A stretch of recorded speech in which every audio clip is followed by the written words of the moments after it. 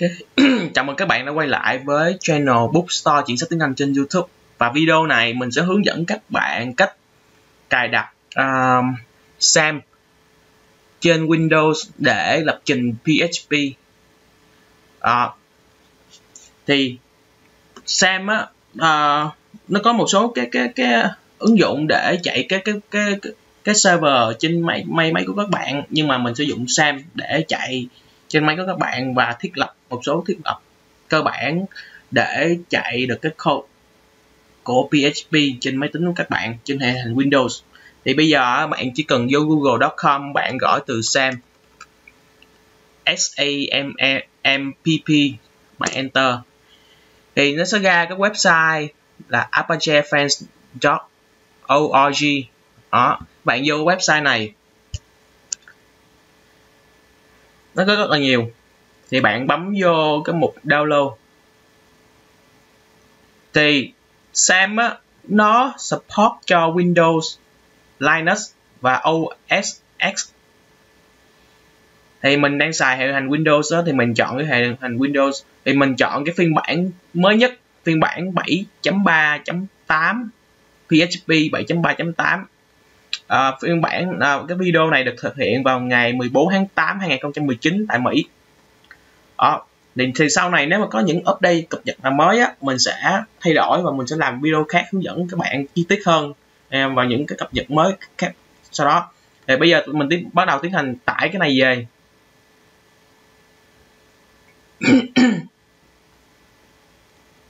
Ở trong vài giây cỡ 5 10 giây gì đó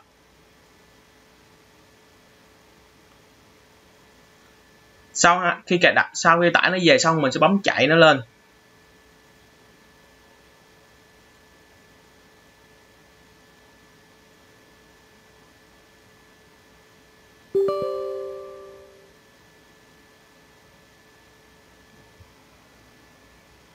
Và lưu ý, video này mình làm rất là cẩn thận.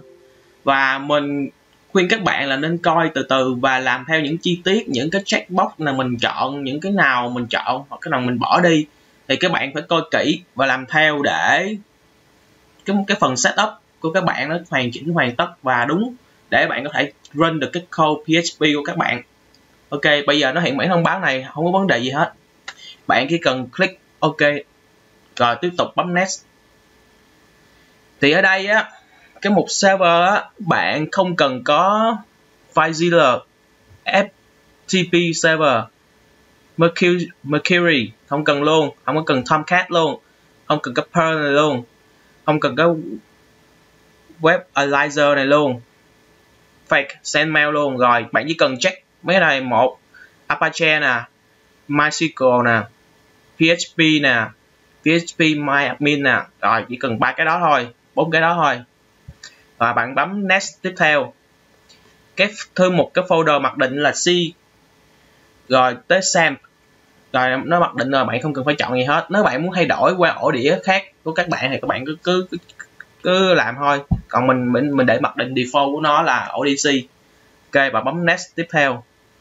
Bấm, bỏ chọn cái cái mục này mình không cần phải biết thêm cái Sam này nữa. Chỉ cần cài đặt nó thôi.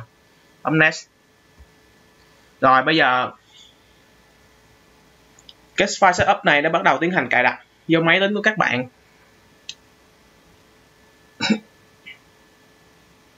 Thì đợi cỡ khoảng chừng cỡ 1 2 phút trở lên à, để nó tiến hành cài đặt setup trong máy tính của các bạn.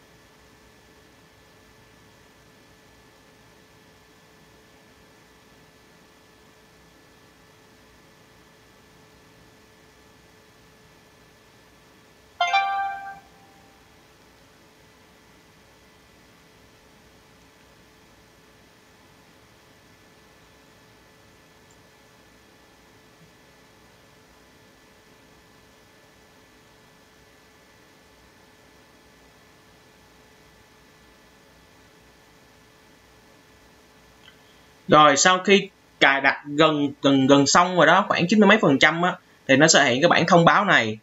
Thì bạn phải chọn cái mục checkbox là private networks. Đó.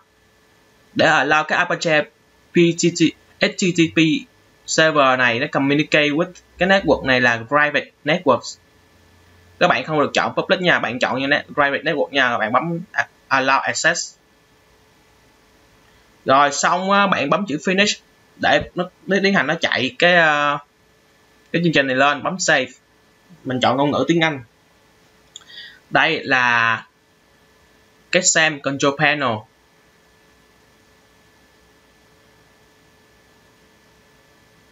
Thì để tiếp tục làm việc tiếp á thì bạn sẽ tạo một cái folder là www trong cái máy tính của các bạn. À, mình chọn cái thư mục document này đi mình sẽ tạo một cái là thư mục cái folder là www. Enter. Xong mình vô cái thư mục này. Bạn nhấp chọn những cái cái lần này. Cái link này bạn sẽ copy lại cái địa chỉ dẫn đến cái thư mục này copy lại. Bạn quay trở lại cái SAM Control Panel này bạn chọn vô cái config configuration đó nó gọi, nó viết tắt là config đó, nhưng mà từ từ gọn ở rộng là configuration đó bấm bấm chọn cho nó, bạn chọn cái Apache httpd config. Đó, chọn cái đầu tiên nha các bạn, bấm vô. Thì tới đây bạn kéo xuống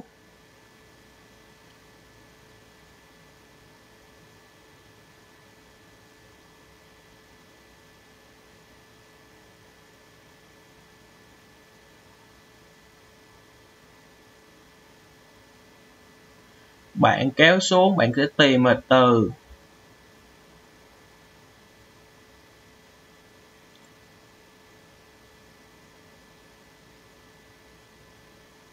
Đây, bạn sẽ tìm cái từ khóa, bạn có thể bấm Ctrl F để bạn tìm từ khóa là document root.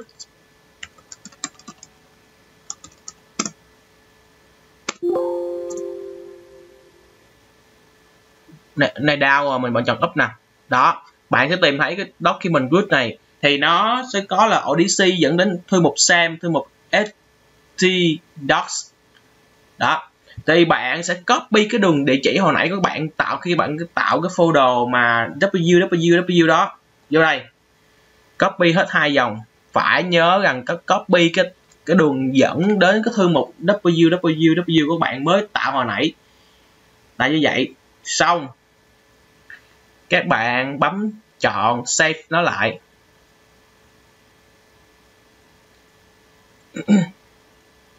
Bây giờ, đây là chỉ cần làm như vậy thôi rồi tiếp tục bấm start cái cái Apache này của các bạn lên.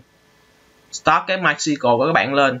Thì ở đây nó cũng sẽ, hiện bạn thông báo cái cái cái firewall của các bạn là nó hỏi các bạn là allow cái MySQL của các bạn communicate với cái, cái, cái network nào thì bạn nên chọn cái network là private network.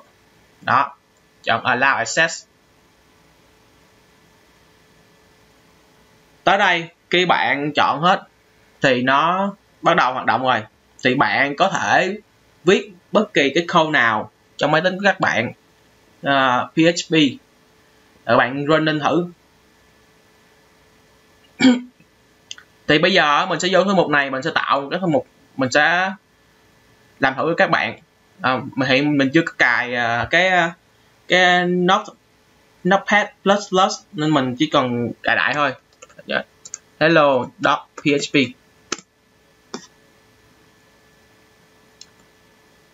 xong vô đây mình sẽ viết thử một cái code của php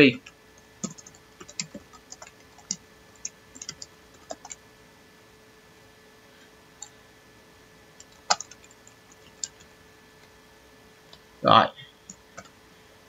Thì sau khi kết kết thúc cái dòng lệnh trong trong PHP á, thì bạn phải kết thúc bằng một dấu chấm phẩy. Đó bạn save lại.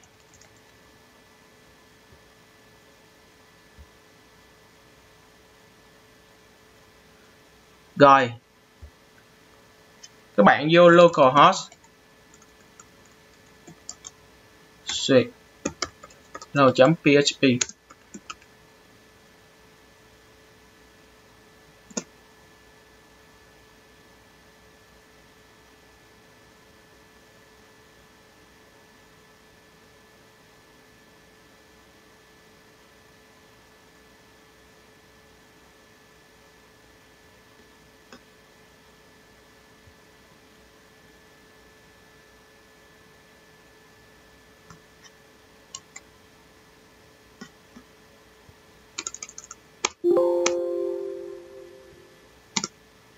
đó. Tại hồi nãy mình chưa có đổi đuôi của nó, nên nó còn hiện là cái file là txt file text. Còn bây giờ mình đổi rồi, mình sẽ bỏ, mình mới bấm vô là localhost flash nó, số xuyệt ra là hello.php php tại vì sao? Tại vì á, khi bạn set up cái SAM control panel ở đây á, Apache này rồi á, thì nó sẽ tự hiểu là cái localhost của các bạn á là cái đường link hồi nãy bạn đã copy vô cái đường link mà bạn tạo cái folder này nè. Folder www này rồi. Thì nó biết rồi. Thì nó cái đường link này, cái địa chỉ này cũng là cái localhost luôn. Thì các bạn chỉ cần bấm cái điện bấm bấm từ khóa. Đây, mình chọn ờ, mình chọn cái cái file khác đi. Ở trong php nó sẽ lỗi liền. Nhưng khi các bạn bấm localhost xong các bạn flash nó dấu xuyệt ngang một cái, bấm chữ hello php bạn enter á thì nó sẽ run được cái cái cái file php hello này hello php này trong cái thư mục này thư mục www này của các bạn.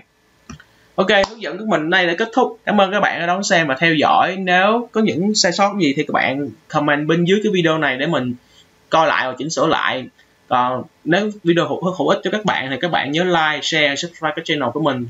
Cảm ơn các bạn đã đón xem. Hẹn gặp lại các bạn video tiếp theo mình sẽ tìm hiểu coi những cái gì mà cơ bản và cần có hướng dẫn kỹ các bạn setup ngay từ cái bước đầu tiên đó để tránh sai sót và những ờ, khi mà mình làm làm việc về sau trong việc lập trình.